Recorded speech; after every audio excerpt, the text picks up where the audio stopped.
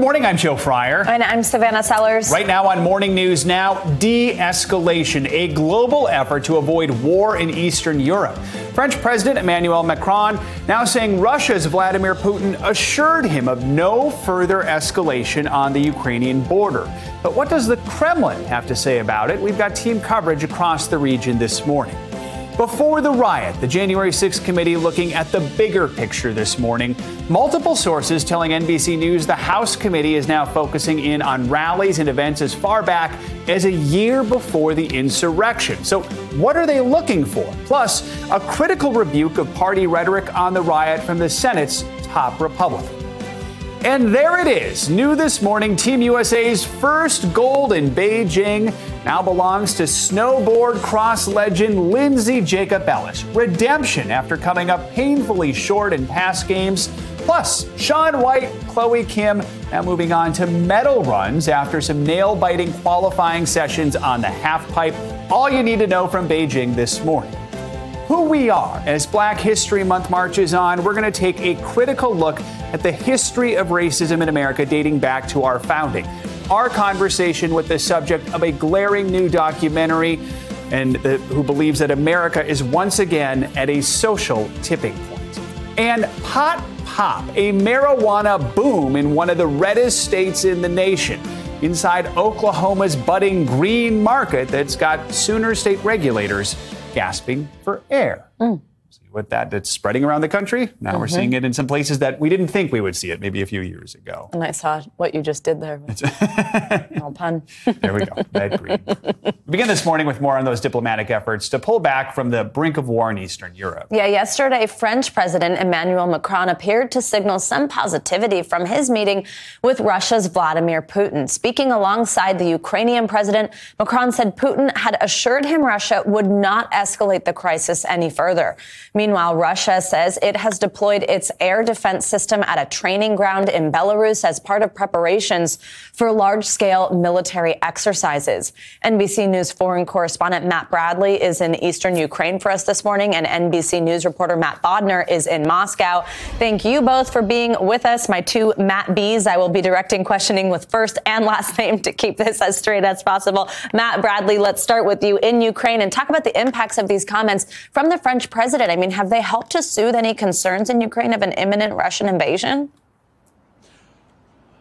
Yeah, well, Joe and Savannah, one thing I got to make clear there weren't really any tensions to soothe. That's the thing. When you're walking around here, even with the. Ukrainian government, I'm sure maybe behind closed doors it's a little different, but as I've been saying time and time again, it's one of the more bizarre, baffling aspects of this whole thing. It's just how untense these people are, uh, especially in um, especially the people around Zelensky. They just don't seem uh, to be that pressed. So again, there wasn't really any tensions to soothe, but at the same time, it didn't help that even after Macron said that, that we heard from Dmitry Peskov, he's uh, the spokesperson for the Kremlin, he poured cold water on all of that. Almost everything uh, was denied immediately after Macron said it. So th- this is a really interesting thing um, that uh, you know we're hearing talking out of both sides of their mouths diplomatically. When Macron made it here, he spoke with Zelensky. The only thing it seems like that was actually accomplished in this shuttle diplomacy between Kiev and Moscow was a very tenuous, very, very light commitment by both Moscow and Kiev to returning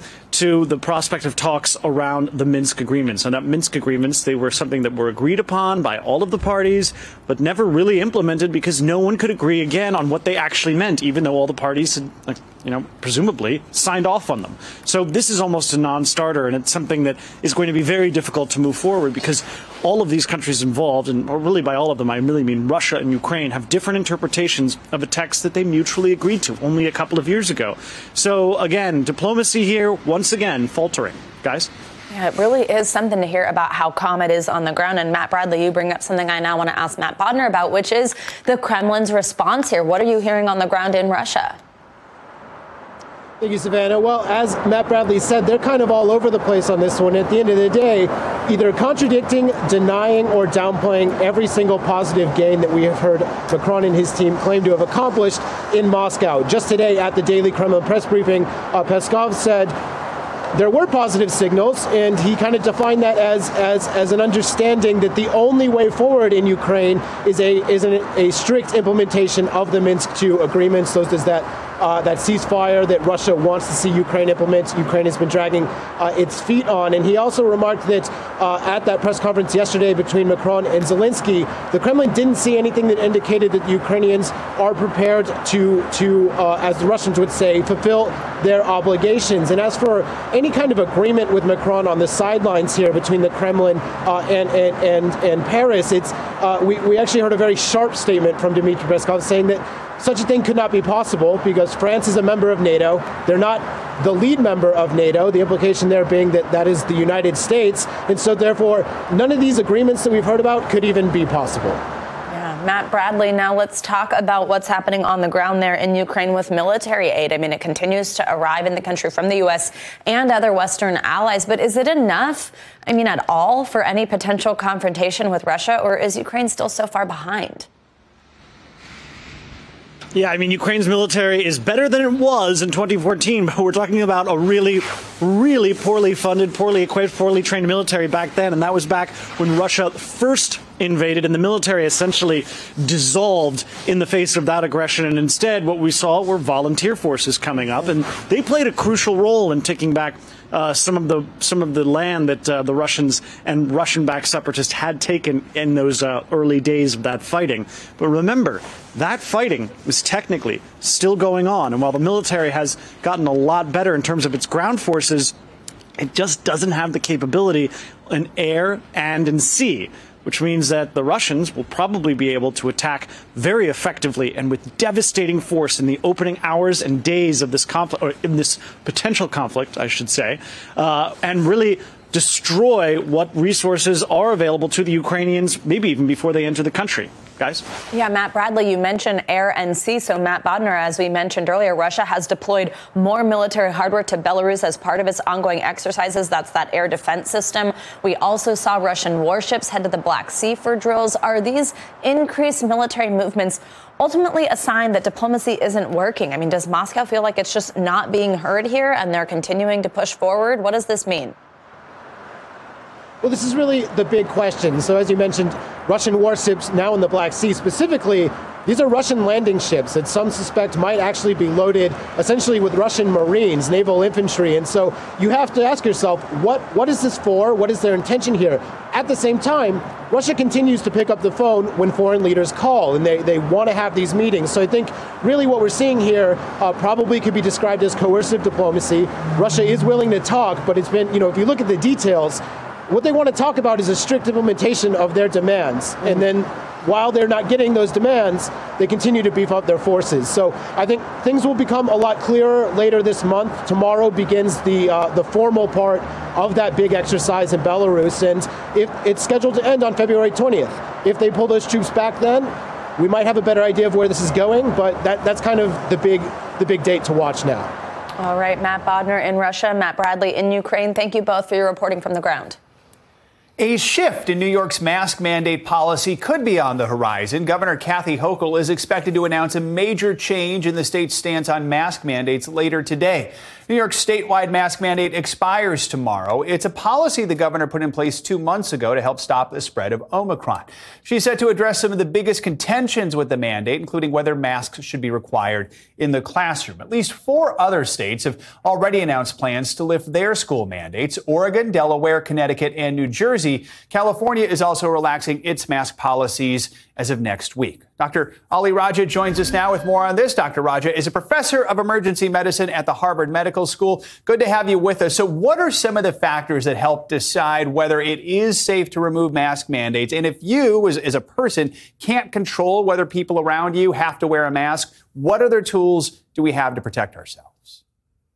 Joe, that's a great question. There's obviously a lot that goes into this. We've seen hospitalizations start to come down, which is great. We've seen cases start to come down as well.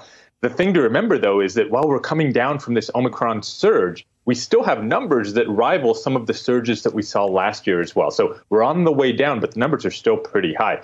The CDC data still shows high rates of transmission of Omicron or of COVID throughout the country. So masks are still going to be really helpful. But you bring up such an important point I've been talking to my patients about this too, is that as these mask mandates start to go away, that doesn't mean that you can't still wear a mask, especially if you're older or have other medical problems that put you at risk. So even if your state's mask mandate goes away, remember, you can still wear a mask. Let's talk about vaccines. Johnson & Johnson says it will temporarily stop making its COVID vaccine. What could be the impact of this? Should we be worried at all?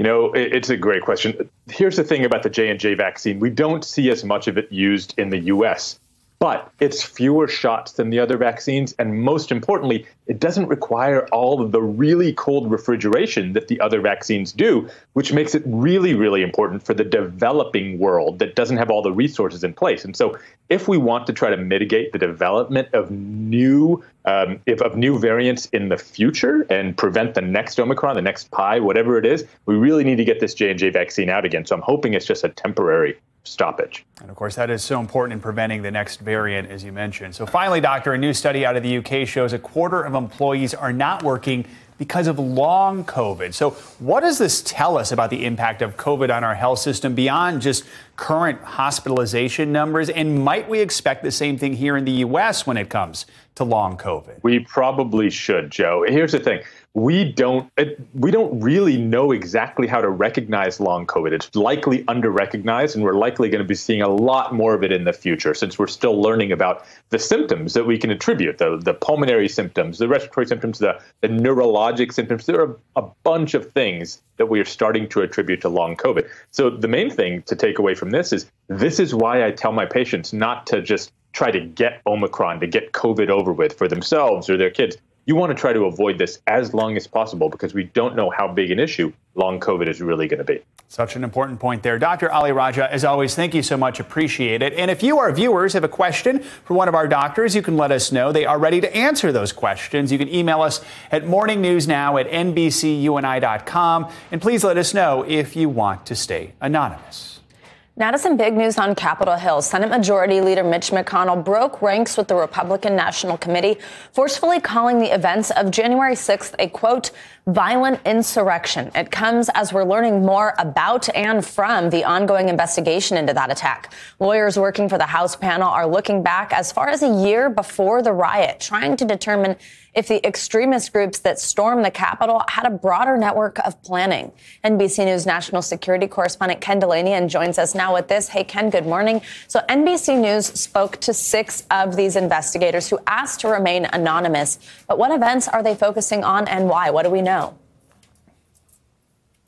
Hey, Savannah. Yeah, this is some really interesting reporting by our colleague Ben Collins, who himself is an expert in far right groups. And what these investigators told him is that they are scrutinizing events attended by these far right militias, the Proud Boys, the Oath Keepers, the Three Percenters, going back as far as a year before January 6th, including protests against COVID lockdowns, protests against racial justice demonstrations, to see whether there were any uh, signs and signals of cooperation long before January 6th. To look at this more holistically as a movement. And, and let's not forget, they have a different mandate than the Justice Department. These investigators are trying to get to the truth here to publish a report. They can talk to people who aren't in criminal jeopardy, uh, who may not, may or may not be possible defendants or witnesses in the Justice Department investigation, just to get to the truth of why this happened. And the chief investigator for the January 6th committee also was hired to do a report on what happened with the Unite the Right rally in Charlottesville. I've read that report. It was a comprehensive look at what took place there, uh, not only the activities of those far right groups, but also the failures on behalf of the government, which is also something the January 6th committee is looking at uh, in, in terms of what the FBI and DHS failed to see. Guys. So, Ken, tell us now. We have they're they're investigating the actual events of January 6th, but now we're also talking about how there's this focus on how extremist coalitions formed before the riot and then have evolved in the years since. Kind of walk us through those two lines of investigation and then what's been found so far on each. Yeah, well, one of the things that they're finding is that a lot of these groups had uh, one particular strain of extremist thought in common, which was the great replacement theory. The notion that somehow there's a conspiracy to replace white people with uh, members of minority groups uh, in voting blocks and in and, and centers of power around the United States, a racial resentment that seemed to have pervaded a lot of the groups But I think there's some open questions, really, they haven't gotten the answers yet to how coordinated were these particular groups, and specifically to the answer of was there actually a plan in advance to take the Capitol. Because even in the latest indictment of Oath Keepers leader Stewart Rhodes, which where the Justice Department revealed the most it's ever said about this, they have not explicitly said there was a, a specific conspiracy, a plan in advance to attack the Capitol, guys. Now, Ken, earlier this week, the Department of Homeland Security issued a domestic terrorism advisory. Tell us about that and exactly specifically what they're saying about the threat of misinformation right now that this has to do with. Yeah, this document reiterated what they've been saying all year, really, which is that there is an incredible climate of misinformation and disinformation on social media right now, exacerbating the social tensions in the United States, vaccine conspiracy, anti government rhetoric, and it's being amplified by our foreign adversaries Russia, China, Iran, even North Korea. They are playing in that space and trying to divide Americans. And what officials tell me is that they're really worried that this is fomenting a climate of extremism and violence. It only takes one or two disturbed people to look at this mm. stuff and take action and do something really bad, guys. Only one or two disturbed people. Wow. Ken Dilanian thank you so much. Let's now get a check on your morning news now weather. Bill Karins is with us again. Bill, good morning. Good morning, guys. I'd say about 95% of the country has really nice weather today in this February thaw. And the one spot that doesn't is normally where it's gorgeous. I mean, South Florida today is kind of cool and chilly. It's kind of rainy. Not the best weather at the beaches, obviously. And that's where we take you to the radar. It looks like in Miami, probably have about another hour, and then it's going to pour as that rain will move on through. You can see there right now it's over the Everglades, that yellow and even a little bit of red. No lightning with this, but there are some local downpours. And again, it'll just be kind of cloudy and cool for much of the day. So there's Miami. And when we're saying cool in Miami, it's still going to be 70 degrees. So it's not like horrible. But look at all the sunshine across the board today. Uh, DC is going to be great. We're melting snow from Boston to New York. Still a little chilly in the Great Lakes. That's where winter is holding on. And out west, it's unbelievably warm. And into Thursday, that continues. Notice that the only chilly spot it continues to be the Great Lakes. A little bit of snow shower activity possible from Minneapolis to Green Bay. New York City should be 50 degrees on Thursday. And everyone in the South is pretty comfortable too in the 60s. So let's talk about the upcoming weekend forecast, Super Bowl weekend. Still sunny and nice on Friday. No problems on the eastern seaboard. Uh, Great Lakes hold on to your snow showers and record warmth continues in the west. 70s as far north as the Oregon coastline. Uh, even Portland up near 60 degrees. Saturday, a cold blast. You know, it's still winter. We're going to get a cold shot or two. We're not done with winter yet. And another cold blast will come down into the central uh, plains and the northern plains. High temperatures only in the teens and single digits in some spots with snow squalls. And then on Sunday, for Super Bowl Sunday, Obviously, super warm in the west, temperatures in the 80s. In the east, we're going to have a little bit of light snow. At this point, I'm going to call this mood flakes, guys. I'm not going to call this a snowstorm. It looks like there should be some snow falling. The ground temperatures may be warm enough that it melts when it hits the road. So I call those mood flakes. They don't really interfere with anything. It just kind of looks pretty and puts you in a good mood. Hashtag oh, mood flakes. Let's get that going. That. Let's get that trend. Looks pretty. You like that? I want t- Should we do t-shirts, hats? Yeah. Yes. Mood flakes, mood hats. Flakes. All right. But Bill, now next time, can't we get that on the map instead of where it says light snow? Can you put mood flakes? I think, but if anyone was, if anyone was muted, they would be really confused. Well, really then they would unmute. That seems like the perfect reason to do it. They should be listening to the news we're bringing them. All right, thanks, Bill. That's, that's right. All right, to the Olympic Games where Team USA scored its first gold medal with Lindsey Jacobellis's wire to wire win in the snowboard cross event. Team USA picked up several other medals yesterday and now sits in seventh place overall in the medal standings. NBC News correspondent Gadi Schwartz is back with us to tell us the latest from Beijing.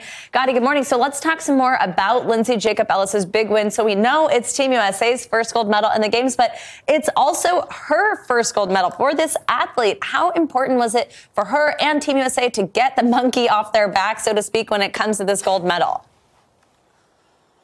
Uh, yeah, Savannah, you want to talk about Olympic monkeys? This is going to be hopefully one that gets an Olympic monkey, monkey off of Lindsey Jacobellis's back that she's had since 2006 because mm. uh, 16 years ago, Jacobellis was crushing it at the Olympics. She was winning by a long shot. So uh, she took a little celebratory board grab that caused her to crash right before the finish line in a video that has just been played over and over oh. again. But uh, she said that that mistake made in 2006 six uh, has driven her forward. She has now become the biggest force in the sport, and now she has finally clinched that gold in Beijing, oh. giving Team USA its first medal.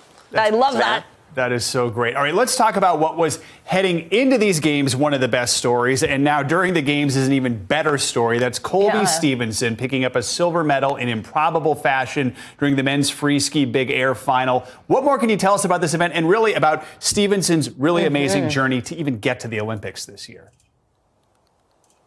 Yeah, Joe, this silver medal is so astounding, and here's why. Back in 2016, uh, Colby Stevenson came inches uh, to mm. death when his car crash uh, ended up resulting in him cracking his skull in over mm. 40 places. He broke his neck, he broke his ribs, uh, his eye socket. It was a miracle that he survived. Then mm. uh, he went through a brutal recovery. He has come back with a vengeance. Uh, and, and this event was a close one. Now, remember, in freestyle big air, you do three runs, only the best two count. Well, Colby started out a little rough, but then in the last two, he totally sent it. His second and third run finishing with a switch double cork uh, 1800, which is five rotations, two flips. It's a type of uh, oh trick that is so insane to see that you just think like, how did that happen? What happened? It was so big, so fast. How do judges even tell how many times he rotated? Yes. Uh, big silver medal win. Oh my gosh, I'm so happy that you said that. That's how I feel. How can they even judge? how can they tell what just happened?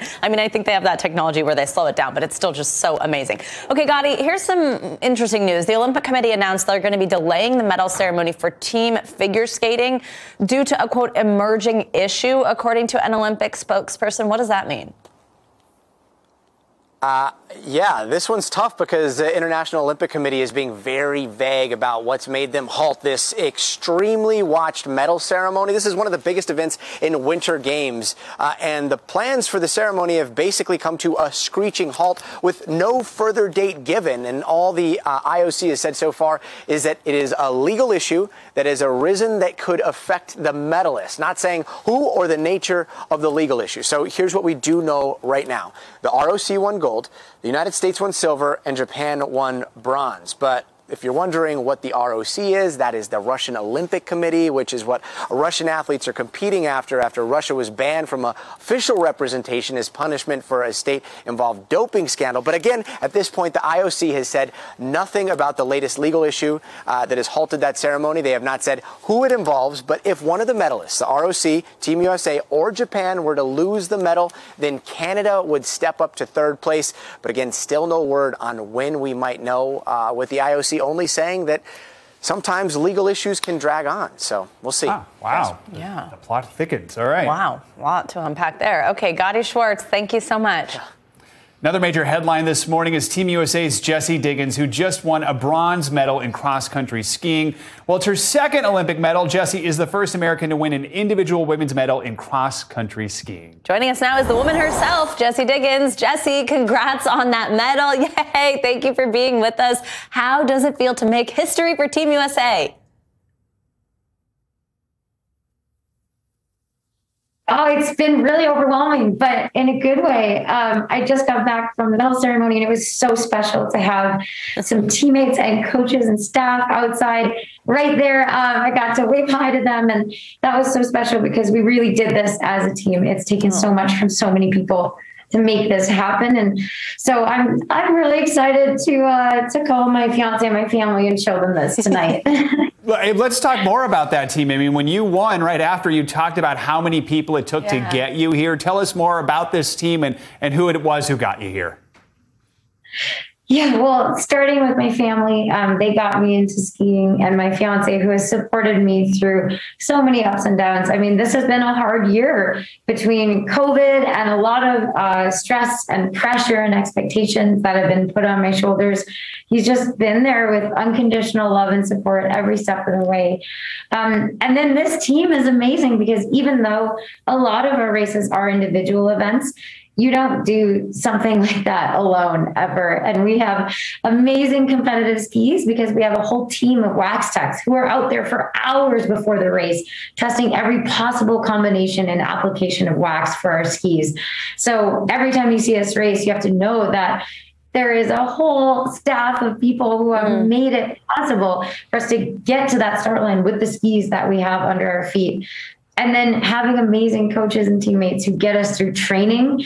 I mean, we train twice a day, six days a week from May through November, and then we're on the road November through March. So we really become this tight knit sort of family unit because you have to be able to lean on each other to get through that kind of training and time on the road. So I'm just so grateful for them and for their support because having amazing teammates who push you to be your best and then support you through your hard days. That's how you create that kind of momentum. Wow, twice a day, six days a week. I mean, that's pretty amazing. Now, Jessie, let's kind of just put this in context with your legacy. So, we mentioned a minute ago that this isn't your first Olympic medal. It's also not your first historic win. Back at the 2018 Winter Olympics, you and your teammate, Kikkan Randall, won the first ever gold medal for the U.S. in cross country skiing. That was also the first American medal in the sport since 1976. And as we mentioned a moment ago, this medal now is the first American to win an individual for women's in cross country skiing. I mean, when you think about all that, what do you hope that this sort of does? Think about your legacy in paving the way for young American skiers, these, these records that you've broken, this history that you've made. Honestly, I think the most important legacy I can leave behind is what I do off the snow. Um, I speak a lot about the eating disorder that I overcame when I was 18, 19 years old. And I think it's so important to recognize that the only reason I'm here and competing and healthy and happy, most importantly, is because I was able to ask uh, for help and able to let in the people who love me, um, let them into my life and let them help me. And because my family was there for me. And so I think, um, I guess my most important legacy is that if anyone out there seeing this is struggling with something, know that it's okay to ask for help and it's okay to not be perfect because I think it's so important to recognize that even the people you see on TV winning Olympic medals, they have ups and downs, they have vulnerabilities, they're not perfect. And so you don't have to be perfect to be okay and I think that's the most important thing. It's it's not this. This is really really cool, and I'm really happy about it. But that's not the most important thing that I leave behind when I retire someday. We're back with more on a stunning letter from former Pope Benedict. He's asking for forgiveness after investigation into sexual abuse by priests who reported to him decades ago when he was a cardinal in Germany. Now, the 94 year old is also maintaining his innocence, though. Here's NBC News correspondent Tom Costello with more. From Rome, former Pope Benedict's personal secretary. Reading Benedict's request for forgiveness amid allegations he failed to take decisive action against abusers decades ago the Pope Emeritus denying any personal wrongdoing, insisting he only served as Archbishop of Munich for less than five years in the late 70s and 80s, but acknowledging mistakes in how abuse cases were handled, offering his heartfelt request for forgiveness. I have had great responsibilities in the Catholic Church, he writes. All the greater is my pain for the abuses and the errors that occurred in those different places during the time. Benedict's letter follows an independent German investigation that found then Cardinal Ratzinger failed to act against four abusive priests in Munich. Some survivors of clerical abuse say the letter isn't enough. How quickly he wanted to demonstrate that he was only an administrator in Munich for less than five years almost to say, this wasn't my problem. Benedict's attorneys insist at the time he did not know about the predator priest's criminal histories in Munich. In the letter today, he speaks about the fact that quite soon he believes he will be at judgment's door, and he personally feels clear of conscience. Nine years after retiring, a still evolving and controversial legacy. Tom Costello, NBC News. Let's take a look at what else is making news around the world this morning. Ali Arouzi is back with us from Tehran. Hey, Ali.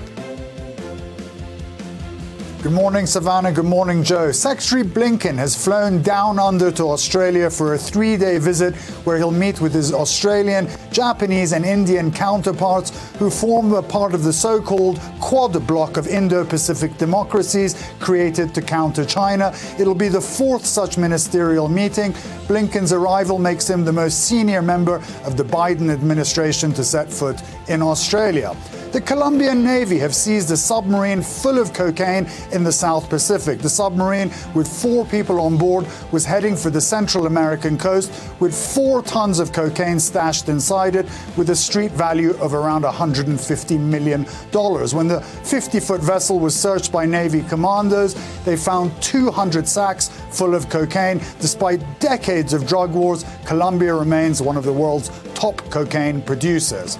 A treasure trove of archaeological objects allegedly looted from Iraq has made its way back to Baghdad after a Lebanese museum returned artifacts, which include more than 300 cuneiform tablets. They are among the thousands of antiquities recovered over the last year by Iraq, soon to be presented to the public, according to Iraq's Minister of Culture. And those are your headlines, guys. All right, Ali, thank you so much. Thanks, Ali.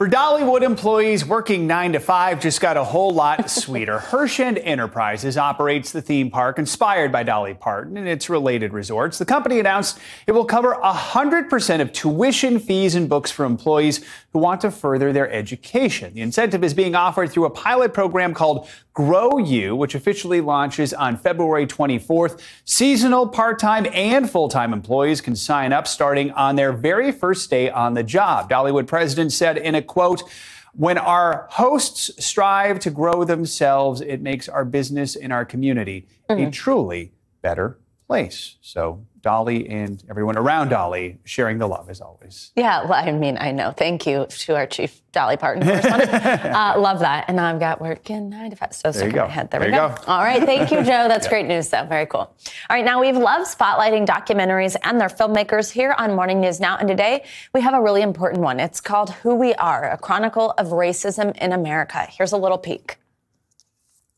We had been on a path toward racial justice that was amazing. There was the Civil Rights Act, the Voting Rights Act. We were at a tipping point. We're 50 years later now. Once again, America is having to look at issues of race dead in the eye. And once again, we are at a tipping point. And the question for all of us in this room is what are we going to do about it? This morning, we're joined by co-directors Emily and Sarah Kunstler and the documentary central storyteller, the founder and CEO of the Who We Are Project and former ACLU Deputy Legal Director Jeffrey Robinson, who you just heard there in that trailer. Good morning to all of you. Thank you so much for being here. And actually, that trailer goes on to say, America was founded on white supremacy. That's something that our audience did not just get to hear there. And I just want to talk with all of you about how y'all met and decided to take on such a huge topic in this film. It was even mentioned right after that in this trailer. You know, that might be a controversial statement, but go look at it. So let's talk about how you all did that. Emily, I'll start with you and that question on tackling this huge topic. Sure. Um, Sarah had an opportunity to see Jeff speak um, at, a, at a courthouse in downtown New York and was blown away. Um, called me and um, we we decided to reach out to Jeff to see how we could get his really powerful presentation um, that changed the way that we both looked at the world out to as many people as possible. Mm. So we met with Jeff, um, and luckily he he agreed to take us along this ride with him. Um, and we traveled the country with him as he gave this presentation and, and made this film. And this is a presentation that Jeffrey has been giving was giving for 10 years before mm. we met him. So this project has its genesis in Jeff's work. Mm, absolutely. Now, Jeffrey, we heard you say there in this trailer that after the progress of the civil rights movement, we've started to backtrack as a country. And you say that we're at this tipping point when it comes to race in America. Explain that tipping point. What exactly do you see on either side of that point? I see a decision on which way America is going to go looking at the gaps between white America and black America in virtually every socioeconomic measure that you can, the question becomes why? Why does this gap exist? And I believe a serious part of our problem in America is that we have not dealt with the truth about our history that will give a significant explanation to these gaps. And it's not the explanation that many people think. So the truth literally is going to set all of us free, and that's what we're talking mm. about in this film. And Jeffrey, also at one point in the film, you mentioned that you had one of the best educations basically that you can get in America, but that you were still blown away by how much you didn't know. Tell us maybe something, a couple things that you were surprised to learn in this process. I think one of the things that surprised me the most was the clear debate that was going on at the Constitutional Convention when America went from colonial America to constitutional America. They put slavery right on the table mm. and all the money that the colonies uh, made from it. And they had to decide what are we going to do because we're saying life, liberty, and the pursuit of happiness. And the letters written by the founding fathers have language in it that cannot be described as other than what language of so-called white supremacy. And they said, we're making a lot of money for this. And the Constitution doubled down on the institution of slavery. And I was very surprised by that mm, I'm sure a lot of viewers will be as well.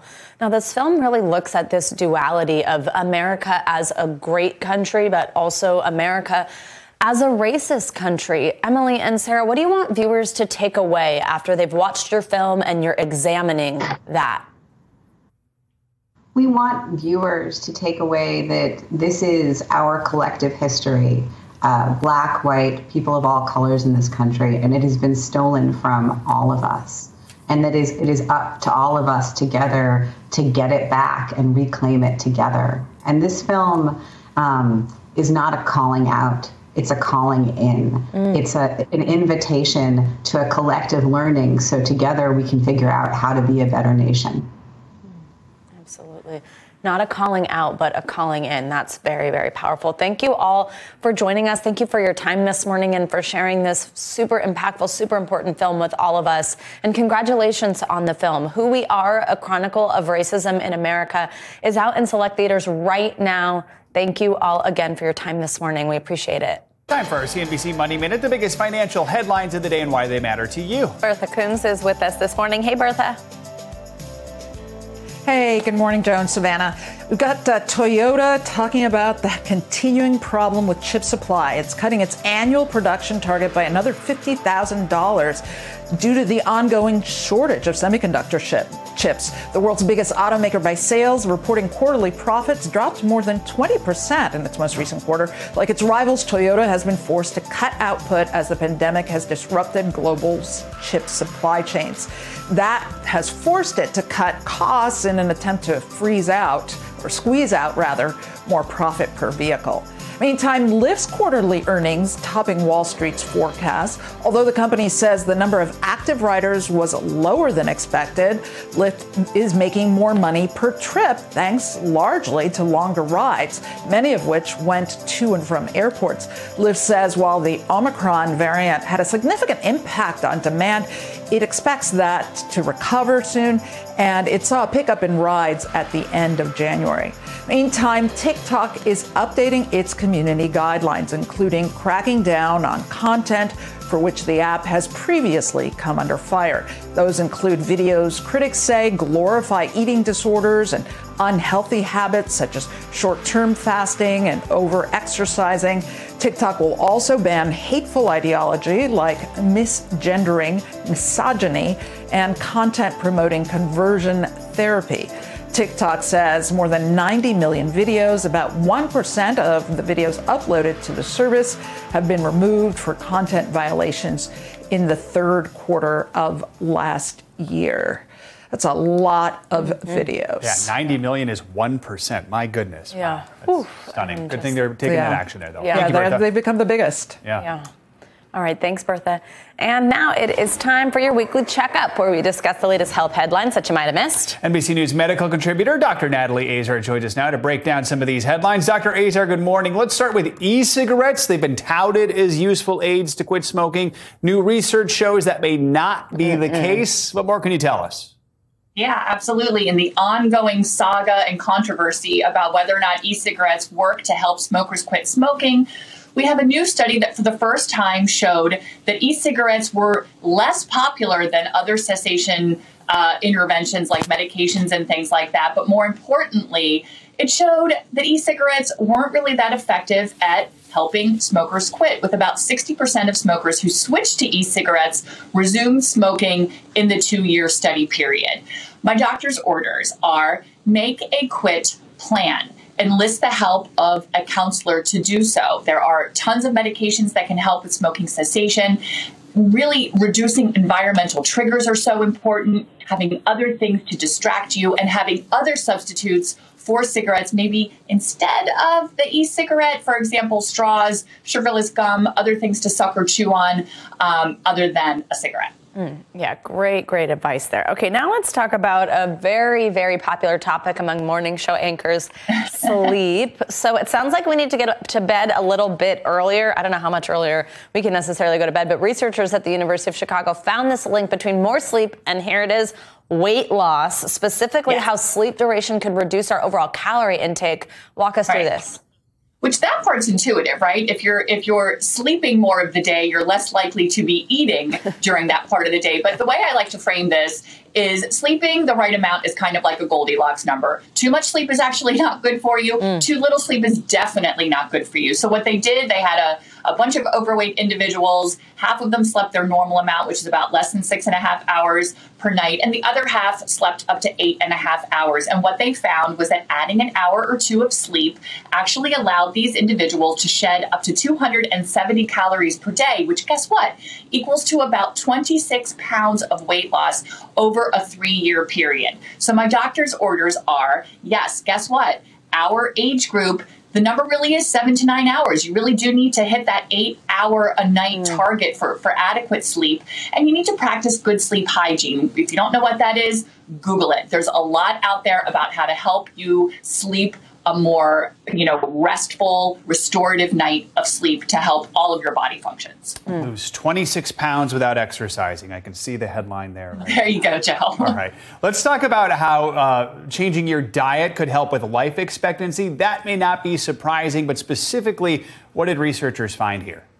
Right, exactly. So another one that seems kind of intuitive. If you're eating better, you're less likely to develop chronic disease and cancer, so you're probably less likely to die. But do we actually have data that supports that? So this is interesting. This wasn't a study that followed individuals for 50 years, but rather it was a modeling study that took databases from this place called the Global Burden of Disease Study, which actually tracks all of these reasons for death and disease and injuries, which is really kind of fascinating. And in this study, they basically modeled and predicted that if you change your diet in young adulthood, you could add up to a decade of extra life expectancy. And if mm-hmm. you switch from a typical Western diet to that optimal diet by the age of 20, you had even the best results. So my doctor's orders are what is this optimal diet? You're, you've heard this all before, everyone. You avoid too much red and processed meat. You want to add more plant based proteins. You want legumes, nuts, whole grains. And guess what? It's never too late to mm. change.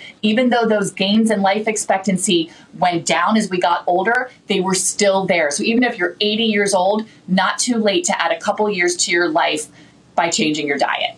So, based on those doctor's orders there, I have a feeling you would recommend that bowl of fruit we showed and not the hot dog that was also uh, in that loop of photos there. Um, You got it. Doctor, let's end with some fascinating news on medical technology. This is pretty amazing. Three patients with complete spinal cord injuries were able to walk again. How did that happen? This is remarkable. So, you know, for ever since ever since Superman, right? We, we've heard about these spinal cord injuries and how devastating they are because you essentially sever the spinal cord at a certain level and suddenly you can't walk or move or anything like that. Well, they've taken the technology that we've had for a long time, spinal cord stimulation that has been used to treat pain because it attacks nerve receptors, and they have modified that technology to now be able to send electrical impulses to someone's muscles to allow them to move. You do this with, you know, an app or a smartphone these people who've not been able to move their limbs are able to walk and with rehabilitation have been able to sort of come to some sort of level of, of normal ambulation it is truly remarkable the way science and technology has allowed for all of these advances in medicine um, to me it was just one of those things that kind of made my heart flutter because it's oh. so so unbelievable Mm, uh, it really is so neat to see dr natalie azar that was a great roundup today thank you so much you bet take care this morning, we are taking you to the heartland for an inside look at a cash crop that's rewriting the rules in real time. The marijuana industry has expanded in places you might expect, like California and Colorado, but new opportunities are now igniting a free market frenzy in Oklahoma. NBC News correspondent Morgan Chesky takes a look at the race to cash in as officials there try to keep up. It's not the kind of well oiled machine you'd expect to see in Oklahoma. But make no mistake, folks here know a boom when they see one. We're in one of the reddest states in the country, standing in a room full of marijuana. Unbelievable. No one thought we would be here even three years ago, right? Including David Lewis, who left a job in staffing to form Stability Cannabis. Now, three years after the state legalized medical marijuana, more than 100 employees make sure their supply meets the surging demand. All it took to start $2,500 for a license to grow with no cap on quantity. So, about how many plants in this one room alone? About 3,000 cannabis plants in just this one room. And you'll have this on a store shelf how soon? In just about 90 days. Their customers, around 400,000 Oklahomans with medical marijuana cards, who can buy any cannabis product legally sold within state lines. Oklahoma now home to more than 2,000 marijuana dispensaries, more than Colorado, Oregon, even California. The draw? Ease of access and fewer regulations than competing states. We're witnessing the, the second Wild Wild West to California. Which is exactly why best friends Dustin Hyman and Django Evans traded California for Oklahoma to open their own shop. Who are your customers? It's anyone from a school teacher to an ex athlete to a corporate guy to an 80 year old grandma. But the new Green Rush, not so cut and dry. The state agency tasked with regulating is struggling, telling us they've only been able to inspect about a quarter of the more than 9,000 licensed farms. We have not been able to keep up with the demand. Demand so high, quiet farm towns are finding this cash crop comes at a cost. Well, we're hearing a lot of stories in rural Oklahoma about the water resources overtaxed and overused, along with an immense uptick in the use of their electric grids. With Oklahoma cannabis on track this year to surpass a billion dollars in retail sales, lawmakers are proposing tighter rules and higher taxes. But with a business model other states are no doubt watching, it's clear this boom's taken root. Morgan Chesky, NBC News, Oklahoma City. Oklahoma has the highest per capita rate of medical marijuana use in the nation, which is helping the state bring in almost $500 million more in taxes compared to last. A newborn baby couldn't wait to make her debut, even as her dad competed halfway around the world at the Winter Olympics. As NBC News Now anchor Tom Llamas explains, he can't wait to get home to the biggest prize of all. We first met Olympian Leif Nordgren and his wife Caitlin last week, the day before Caitlin was due to give birth. She told us the minute they found out they were pregnant, they did the math. We knew we were like, oh no, early February, that's not good. Caitlin is a meteorologist for NBC5 in Burlington, Vermont. Her husband, Leif, is an Olympic biathlete. You know, that event where you ski and shoot. There are no good excuses to miss your child's birth, but qualifying for the Winter Olympics isn't half bad. Sacrifices are just a huge part of an athlete's life. And if two people can do this, Leif and I are definitely those two people. Together, they decided Leif wouldn't give up his Olympic dream. So on Sunday night, as Caitlin went into labor in Burlington, Leif joined by video from Beijing. Together, Virtually, they welcomed little seven pound, three ounce Astrid into the world. It was really nice to be able to at least be there and talk to her a little bit, try to help her out as best I could. Um, it was still a, a very cool experience, even over over the phone. Leif competed in his first race, admitting afterwards his mind was a little more focused on baby than the targets he was trying to nail during the biathlon. Obviously, I wish I could be there and and uh, get to get to hold Astrid, but it'll be it'll be another week and a half or so, and we can kind of start the rest of our lives together. For now, Caitlin is trying to watch Leif compete, but she's no longer in charge of the schedule when she's hungry, she's hungry. She got really hungry, like right as the race was starting. But yeah, there was for sure some juggling this morning, but that will just be our what we're going to be doing for the next couple of weeks. what an adorable baby. A big congrats to the new parents and thanks to Tom Llamas for that report. That does it for this hour of Morning News Now. But the news continues right now.